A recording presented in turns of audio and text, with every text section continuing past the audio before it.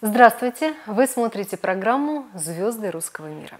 И сегодня у нас в гостях человек из телевизора, мой коллега, телеведущий, народный артист России Владимир Березин.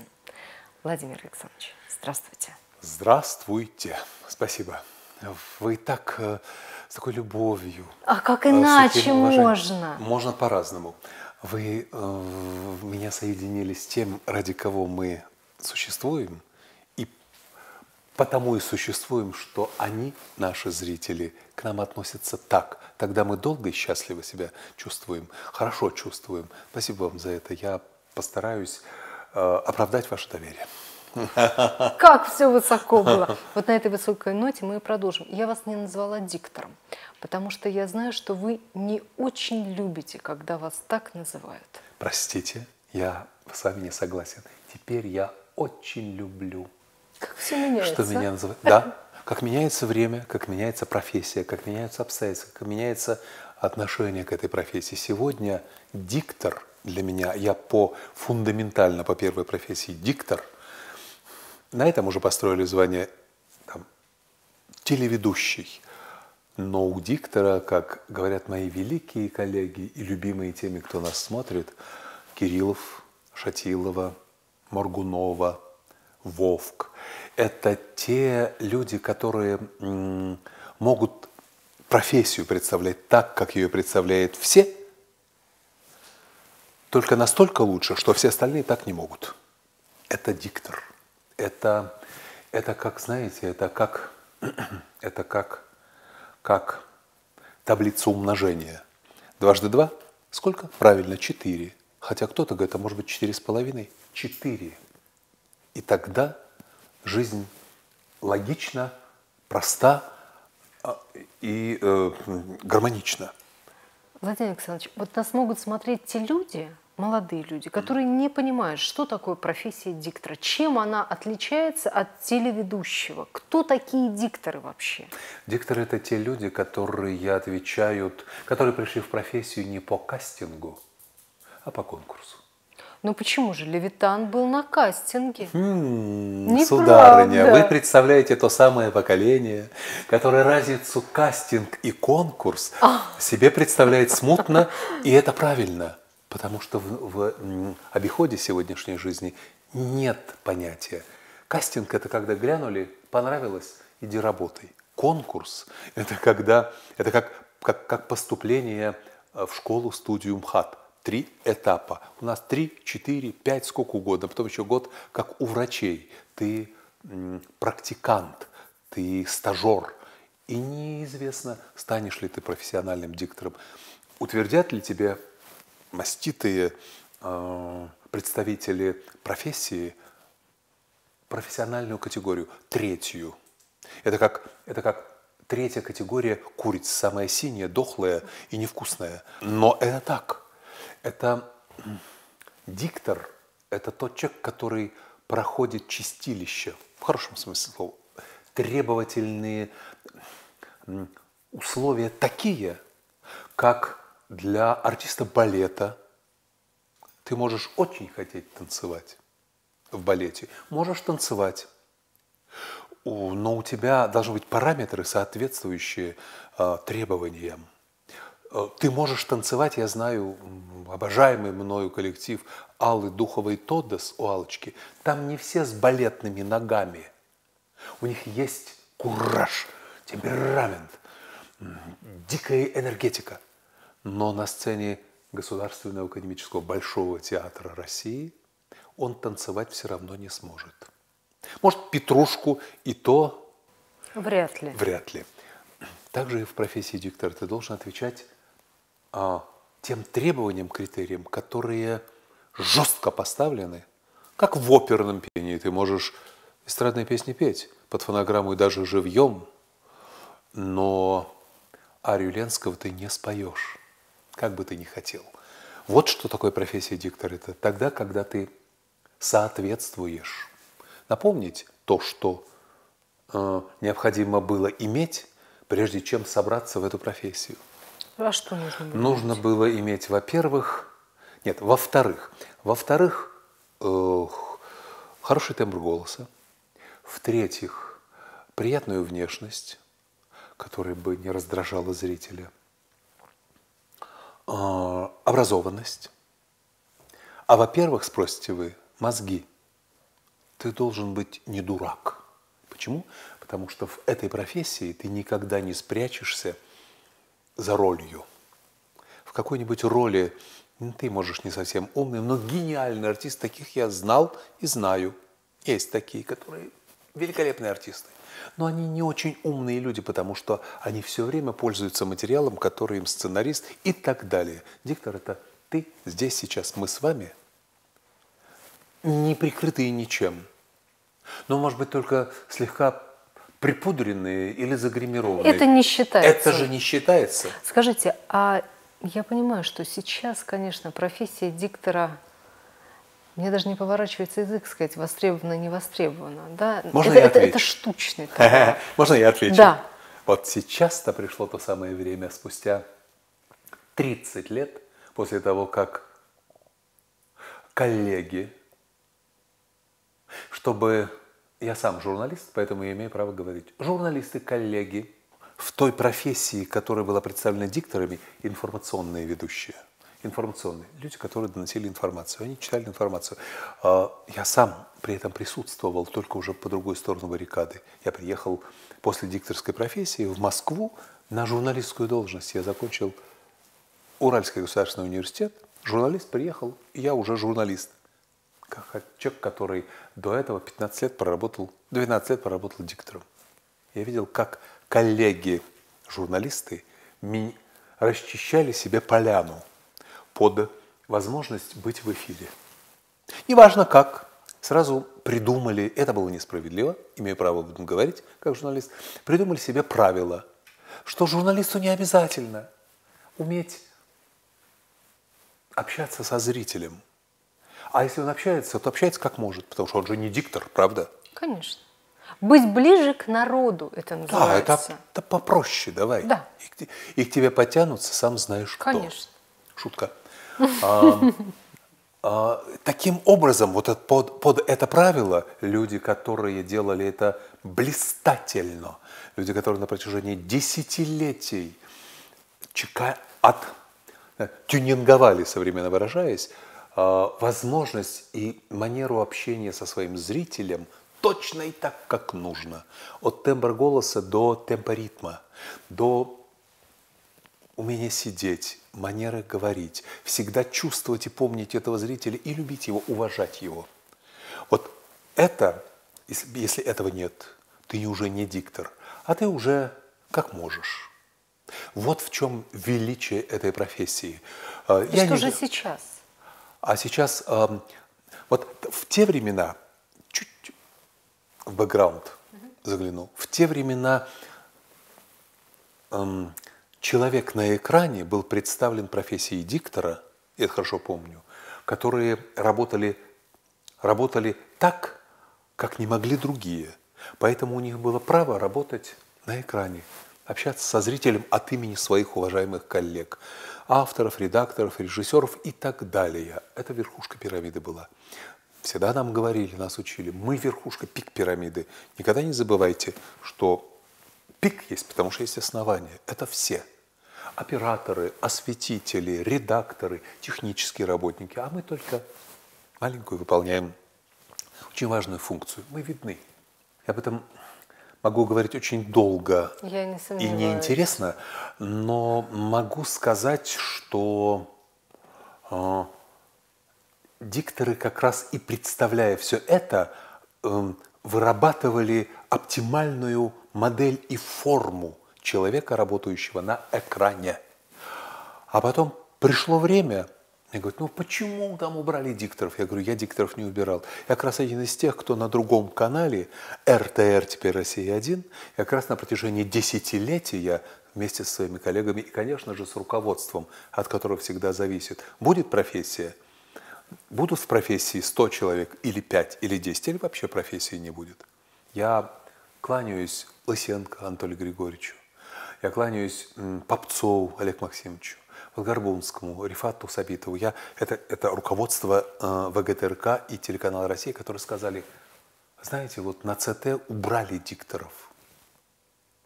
А люди, которые смотрят наш канал, они заслуживают того, чтобы был, был такой специальный человек, который выходил, открывая программу, и говорил «Доброе утро, спасибо, что вы с нами, спасибо, что мы вместе». Зрители, люди с той стороны камеры, экрана, они заслуживают того, чтобы с ними мы специально так общались. Они заслуживают, чтобы мы говорили простые фразы, банальные. Там, программа нашего канала закончена. Спасибо, что этот вечер вы нас смотрели. Спасибо, что были с нами. Мы желаем вам доброй ночи. Вы знаете, вот то, что вы сейчас рассказываете, это вообще как будто бы с другой планеты. То, что мы видим сегодня, быстро, реклама, а, все все совсем другое. Даже тоже ведение новостей. Посмотрите, конечно, как, конечно, из, конечно. как изменилась манера, да? Она стала... Коллега, я сейчас э, э, отвечаю, простите, что я так долго, но это та тема, которая так и не открыта до сих пор. Мы, у нас некому заниматься теорией телевидения. Телевидение – это взаимоотношения людей по одну и другую сторону экрана. Самая главная задача э, состоит в чем? В том, что мы, чтобы нас услышали и поняли и приняли то, что мы говорим. А иначе чего нам делать на экране? от имени и по поручению и так далее. Это надо делать профессионально и умело. Я из того времени, когда нам говорили, это профессиональное, а это самодеятельное. Сегодня такое время, когда все самодеятельное. Я даже нахожу этому объяснение. Правильно, мы сами все делаем. Сами делаем, поэтому самодеятельно. Как можем. А, кто может оценить сегодня? Простите меня, пожалуйста. Я уже взрослый человек и имею право на это. А, в те времена твою работу оценивал в первую очередь зритель, ты, он тебя принимал. И тогда руководство, даже если ему не, не сильно нравилось, оно было вынуждено потому считаться. что считаться. Сегодня все по-другому, все просто. Знаете почему? Потому что кастинг, а не конкурс. Там ты завоевал право получил его право, и этого права у тебя никто, кроме зрителей, отнять не сможет. Кастинг это мне сегодня понравилось, а завтра мне не понравилось. Или сегодня ты понравился, а завтра мне понравился другой, он получше, ты так иди отсюда.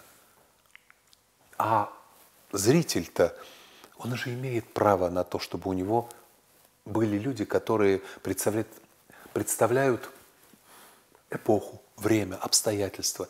Я всегда привожу то, то звучит как очень веский аргумент в нашей профессии.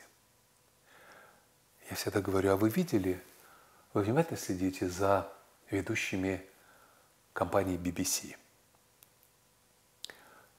BBC? А, ну где вот эти все эти седые, э, немодельной внешности, если появляются, то в каких-то других программах. Я всегда говорю, в Великобритании, потому Великобритания до сих пор, что они в угоду времени королеву не отменили. Им бы проще можно было. В Великобритании BBC нет более народного телеканала, чем BBC. В Америке, кстати, тоже. Там CNN. А, там есть молодые модельные красивые, это можно нарисовать, сделать, подрезать и так далее.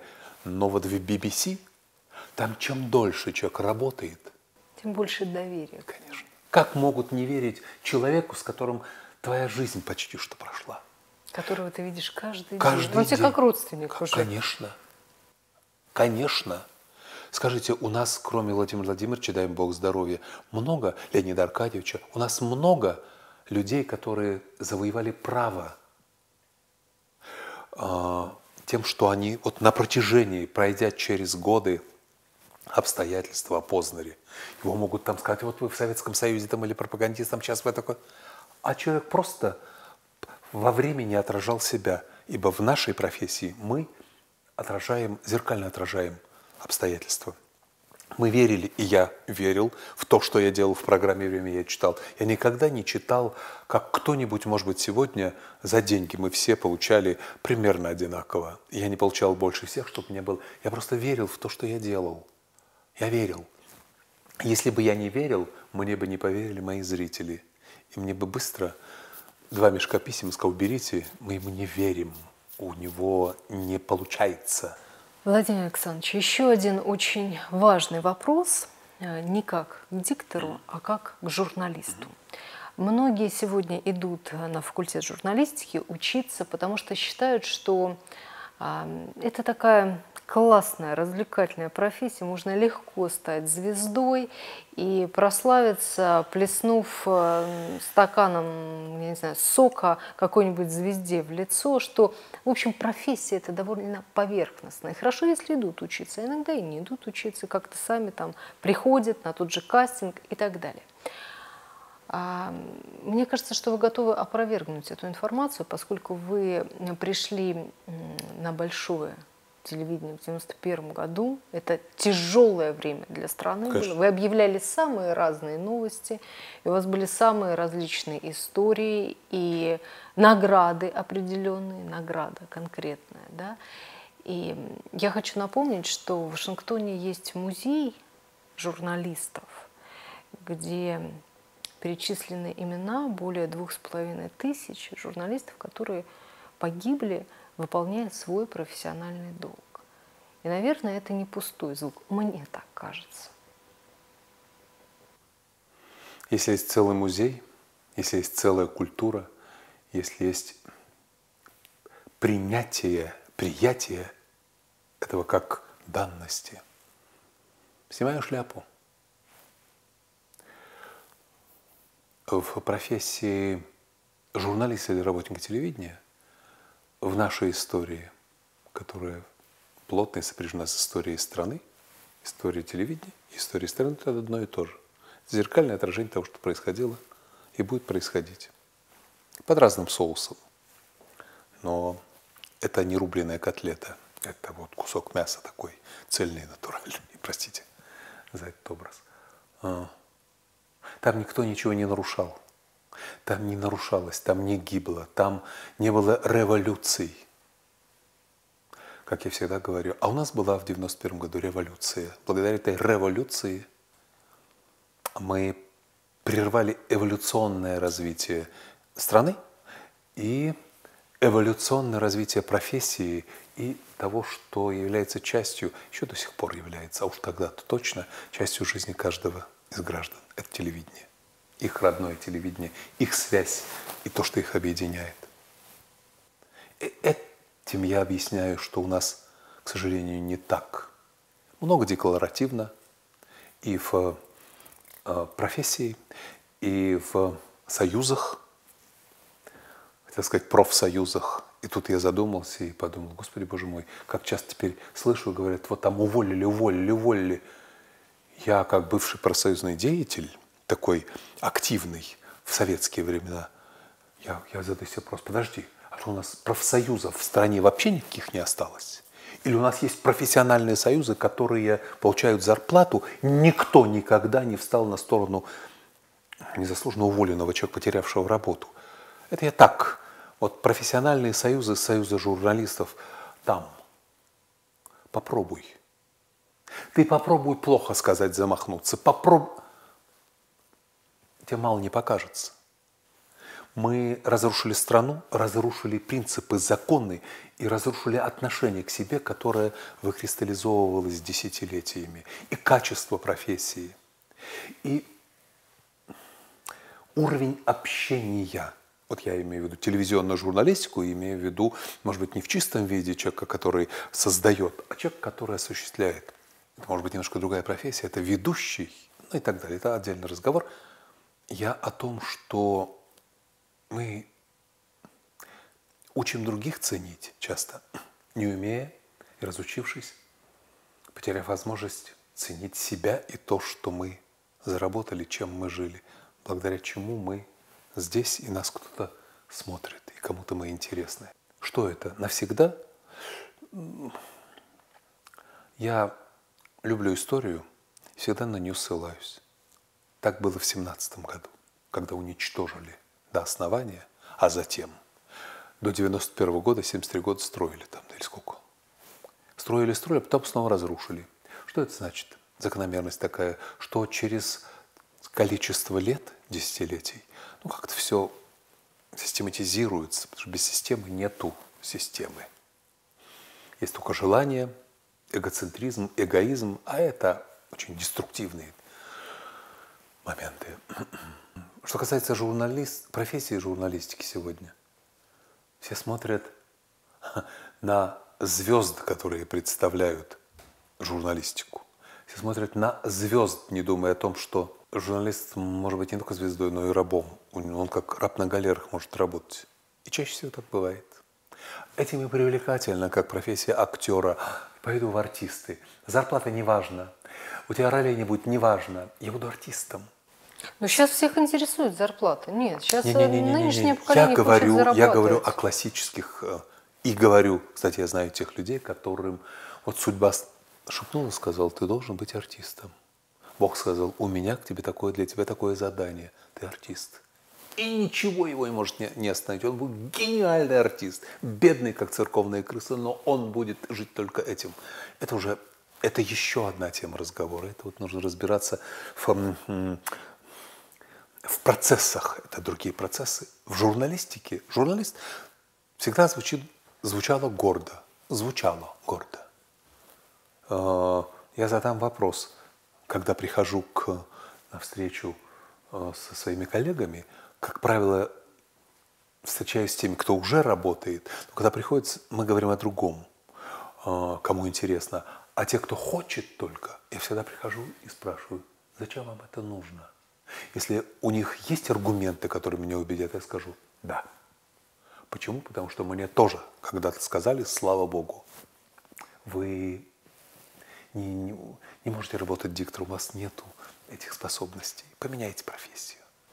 Кто вам так сказал? Это было там, где я начинал, там, где я ждал, что мне дадут третью категорию. Это в Орловском телевидении. И потом этих людей уже нет в живых. Но тому, кто мне это произносил, я последние годы, всякий раз, когда там оказывался, я отправлял букет цветов вот такой. Напоминали о себе? Я нет. Э, человек, который мне говорил искренне, э, веря в то, что, что она права, это был главный режиссер телевидения в комиссии. Ну, я-то понимаю, это главный режиссер. Нет, нет, нет, нет, у вас нет способностей дикторских. Вам нужно поменять. Почему? Она была права в какой-то степени.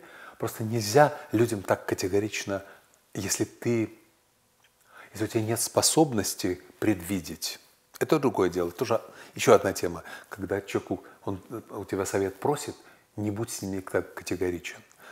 Тысячи случаев были, когда актерам не принимали, Смоктуновского не принимали, кого, кого ж только не принимали и сказали, это вообще не годится. Они становились великими артистами. А потому что не было человека, который смог бы почуять, как свинья трюфели. Кто вас почуял? А, я и моя жена. И э, человек, э, люди, чьи имена я произношу э, всякий раз с гордостью. Там меня приняла, поверила Людмила Михайловна Яковенко, это в городе Орлен, сказала, ой, у него хороший голос, по-моему, из него что-то может получиться. Этого было достаточно.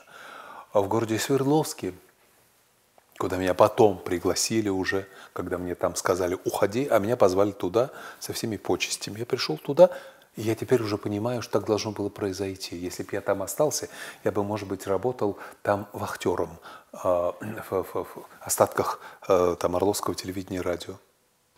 Ну, э, я знаю, что вас э, практически лично принимал на работу ну не лично, но с его благословения как-то Ельцин сыграл свою роль в вашей судьбе. В, в,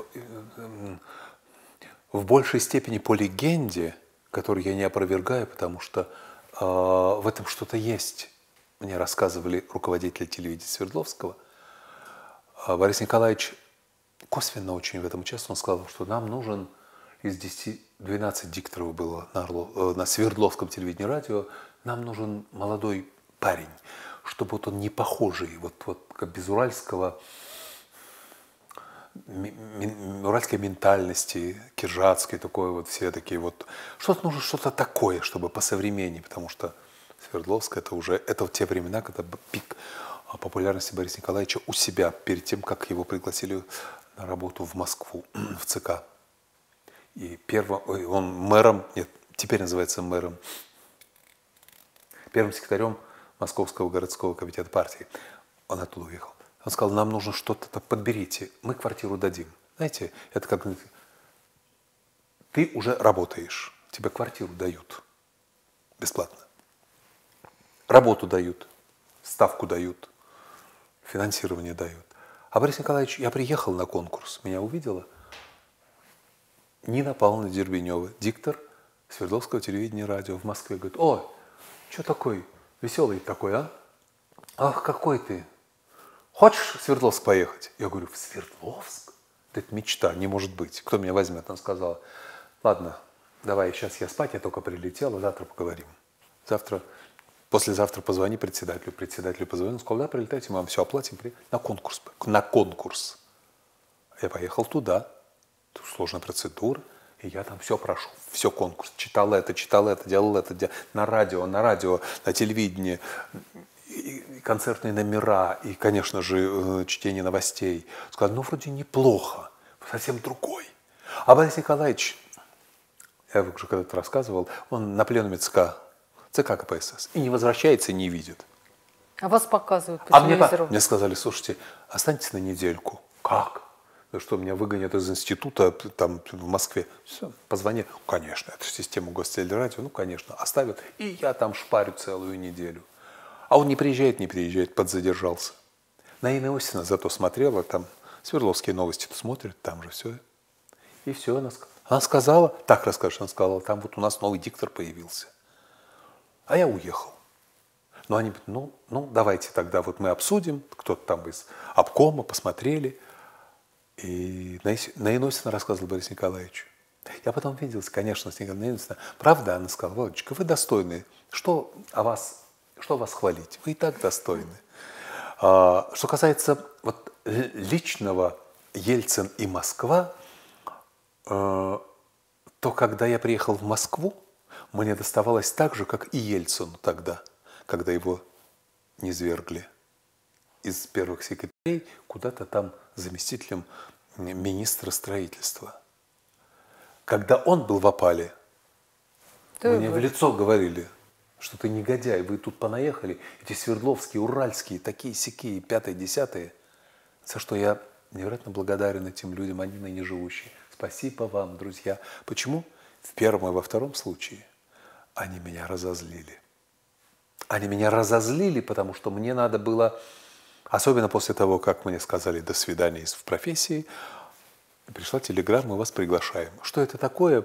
Это можно, ну я не знаю, там, сказали, вас включили, условно говоря, вас, здравствуйте, а вот по спискам эм, партии вы депутат Государственной Думы без борьбы. Хоп, и ты уже, и тебе уже льготы у тебя уже, ты все, ты уже, от тебя зависит судьба страны и народа. И там тоже это не, это мне до сих пор, я не испытывал никогда таких чувств, даже когда меня в Москву позвали, таких чувств, такого восторга, подъема, когда пришла телеграмма, вы приглашаетесь для работы в Свердловском комитете по телевидению и радиовещанию. Я несколько дней только летал, я не ходил. Я не мог понять, я был сумасшедший. Э, даже не радовался, когда у меня дочь родилась, а она до этого там родилась у меня, ей там ну, полгодика было. Что-то в моей жизни произошло счастье. Это как, как Золушка, раз, и она уже принцесса. Так было. Владимир Александрович, скажите, как вы думаете, тяжелее было тогда пробиться на экран или сейчас? Тогда было сложнее и проще. Знаете почему сложнее? Почему? Потому что сложнее ты должен был соответствовать критериям. Как я сегодня уже говорил, если ты приходишь танцевать на сцене Большого театра в балете, ты должен соответствовать критериям. Да, у тебя может там, сказать, э, и нога другая, и прыжок не такой, но если, если у тебя нога, э, взмах Цискоридзе, э, Лопаткиной, Вишневой, э, Семизоровой, ты будешь танцевать. Потому что тогда система требовала, но очень ценила и подбирала профессионалов и талантливых людей. Почему? А потому что они становились частью системы. Культура – это часть советской системы. Нам было чем гордиться. Мы воспитывали людей и так далее, и так далее. Сейчас э, легче, если ты прошел кастинг, ты пришел, сказали, да, нормально, э, заключайте договор. И все. Но тяжелее потому, что ты можешь Э, в одночасье прийти посмотреть, если как раньше в расписании твоей работы, да, а тебя твоей фамилии нет. Говорит, а почему моей фамилии нет? А говорю, «А, а, вам не позвонили? Уже контракт закончился, вы у нас больше не работаете. Вас по смс уволили. Да. Ну, да, Татьяна. Да, да, да, да, да, да. Конечно, это будни большого телевидения. А если в те времена ты завоевал право вот в чем разница кастинга, опять же, отвечая на наш вопрос, и конкурса в нашей профессии, то если ты завоевал и получил право, тебя уволить, во-первых, профсоюзы не позволят потому что они всегда стоят на стороне трудящихся. За что? Если ты не предатель, если ты не диссидент, если ты не потерял э, данные профессиональные, качества профессиональные и так далее, и так далее, если ты э, моральный облик твой там, так сказать, соответствует и так далее, и ты умеешь, да, к тебе будут относиться, тебя будут жучить на летучках каждый раз, но ты будешь работать. Да, ты будешь работать на орбиты, как говорили раньше. А я всегда говорил, Господи, я с этих орбит приехал, я орбита 4, это Урал, Западная Сибирь. Люди меня там смотрят, и они умеют ценить мне, что программу «Время читать» на 21 час здесь, на европейской части, что читать на орбиту 4, это Ураль, Дальний Восток, что на орбиту 3, 2 и 1, это там, где Дальний Восток. Я не могу. Я всегда говорю, кто кого может этим оскорбить, ты на орбите работаешь. Там тебя знают и любят. Есть люди, которые ездят среди моих коллег, которые, которых здесь никто никогда и сегодня не видит, они работают только туда, туда, на восток страны. Они не успели отчитать, уже поехали работать, вести концерты, вечера и так далее. А того, кто сюда читает, а мы таких вообще не знаем, кто это. Так, как Народную нас... любовь ее купить невозможно. Невозможно. Вот это точно знаю. Ни за какие деньги. Ты не, вот что не купишь, это любовь. И всякий раз говорю, ты можешь быть популярным, а можешь быть не популярным, но любимым. Что дороже для меня? Любимым. А, если ты даже не так популярен, не так распиарен. Знаете почему? Потому что популярность кончается, когда кончается твой пиар – а любовь, если она приходит к человеку, она живет здесь, а потом живет здесь. Она отсюда уже не уходит. Вот на этой душевной ноте мы завершаем нашу передачу. Владимир Александрович, спасибо большое за то, что вы сегодня пришли к нам. За то, что честно рассказали про то телевидение, которое было, которое есть. И сказали о том, о чем многие коллеги, знаете, так замалчивают, не, не очень хотят. Они, коллеги не то, что не хотят, они, кто бы мог сказать, они, может быть, считают ниже своего достоинства, это справедливо. Почему? А, потому что многие в моей профессии не смогли справиться с болью несправедливости по отношению к профессии. Но те, кто смог преодолеть, и как я сегодня, если вы позволите, эм, почему я об этом так говорю, потому что я, я в своей профессии, в том, что я делаю до сих пор, я представляю свое поколение, не только моих коллег, но и моих зрителей. Я от их имени должен и здесь у людей, которые имеют жизненный опыт, которые видели и слышали примерно то же самое в своей жизни. У людей, которые видели и помнят все, им есть с чем сравнивать.